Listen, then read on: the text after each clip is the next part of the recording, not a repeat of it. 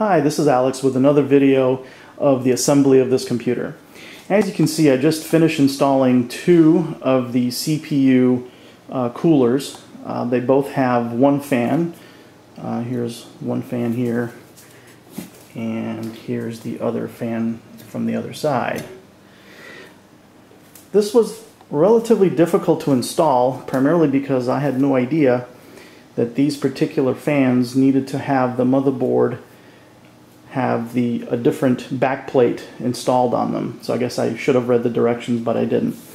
So the way that I had to actually install these is to remove the factory backplates to the CPUs and replace them with the ones that came with the CPU coolers. So as you can see here, these are the new CPU coolers, uh, the new backplates.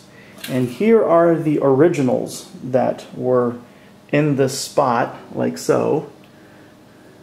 And I had to remove them and then replace them with the ones from the new units.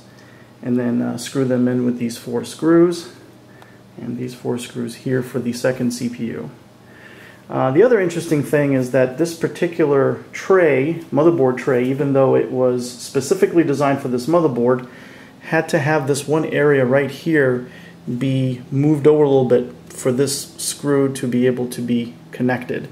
So um, I used just a pair of pliers and moved it over so that it would um, it would work fine. But uh, that's basically it as far as the uh, as far as the CPUs are concerned and the, and the coolers. So uh, stay tuned for another video where I connect some of the other components. Thanks and uh, subscribe to my channel.